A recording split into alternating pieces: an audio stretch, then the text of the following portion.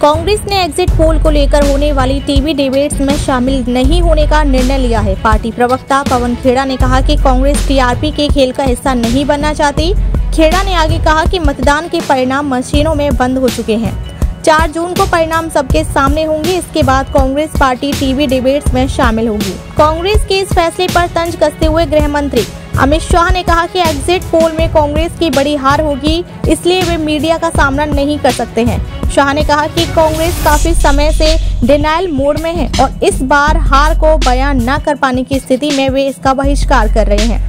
वहीं भाजपा अध्यक्ष जेपी नड्डा ने कहा कि नतीजों से पहले ही विपक्ष ने हार मान ली है।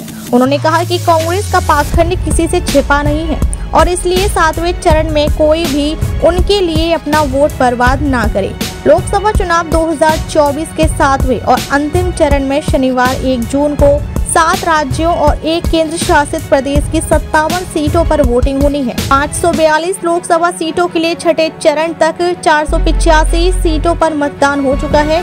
1 जून को आखिरी सत्तावन सीटों पर वोटिंग होगी। गुजरात में सूरत से भाजपा के उम्मीदवार मुकेश दलाल निर्विरोध चुनाव जीत चुके हैं। इसलिए वोटिंग पाँच सौ बावन सीटों पर ही हो रही है। एक जून को शाम छह बजे वोटिंग खत्म होने के बाद अलग अलग टीवी चैनलों पर एग्जिट पोल दिखाए जाएँगे। लोकसभा चुनाव के नतीजों और विश्लेषण के लिए जुड़े रहिए द खबरदार न्यूज़ के साथ। धन्यवाद।